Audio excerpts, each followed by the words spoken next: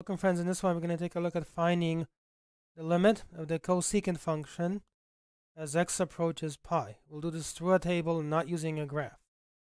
First of all, notice that if you try to do it with direct substitution, it doesn't work because cosecant of pi is the same as 1 over the sine of pi.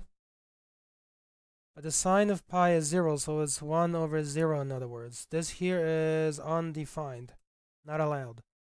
So no direct substitution, which means you have to figure out how to find the limit by looking around pi, to the left and then to the right. So let's do it this way. Left of pi. How do you express being left of pi? Well, you have to take pi and you have to multiply by a number that is less than 1. As an example, you could do cosecant here of 0.9 times pi.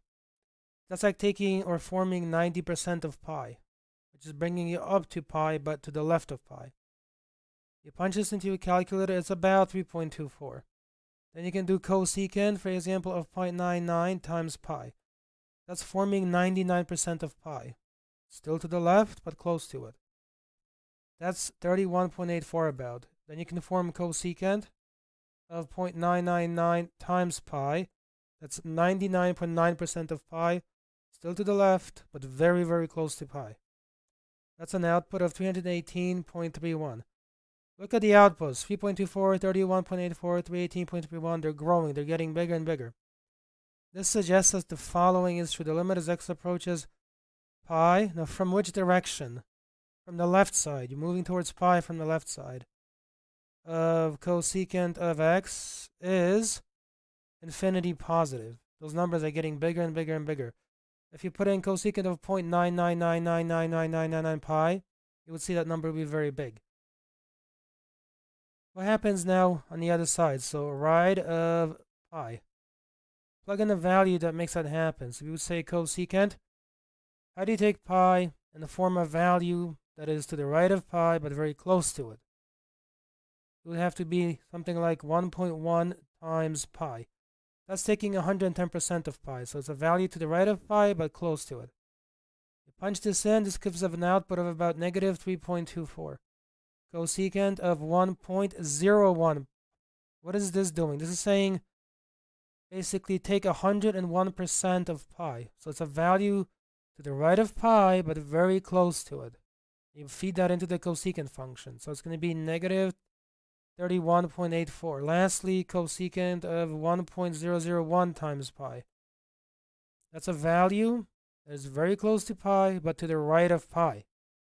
You punch that into your calculator and you get here negative 318.31. What is this telling us? It's telling us that the limit as x approaches pi from the right side of the cosecant of x, that's equal to negative infinity. Now we have an issue. The limit from the left is positive infinity. The limit from the right is negative infinity.